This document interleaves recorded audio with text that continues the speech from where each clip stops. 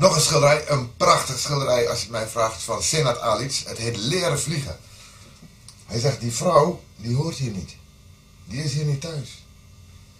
Waarschijnlijk is dit een vrouw uit zijn land, Bosnië.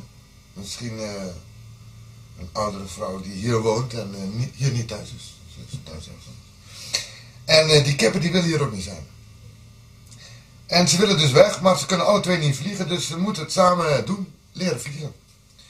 Nou moet ik ook zeggen, Senat die heeft wel met kippen, want Senat die werkt samen met veel vluchtelingen en hij gebruikt zijn kunst om met vluchtelingen uh, te werken, zowel met kunstenaarsvluchtelingen als in uh, vluchtelingencentra met kinderen en dat soort dingen.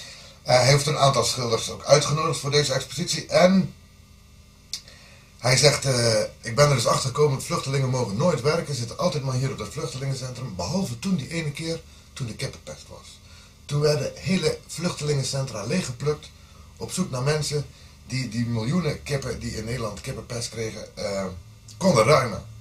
En sindsdien is de kip voor mij een metafoor van vluchteling. Zodoende dat die kip en die vrouw best wel wat samen hebben. Alle twee weg willen. Zo worden hier niet helemaal thuis. Leren.